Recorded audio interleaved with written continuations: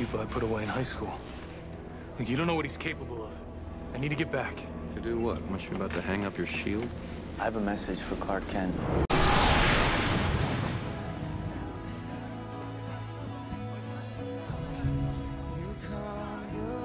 have a message for Clark Kent. Yeah? How about don't leave your date with Punchbowl Maddie? Something tells me it's for a good reason. You know, Clark is the reason a lot of us are still here. Oh? I kind of got caught up in my web of obsession. He set me straight. It's not every place that has a hometown hero like Clark Kent. That's the kind of guy he is. Just tell him. Tell him thank you.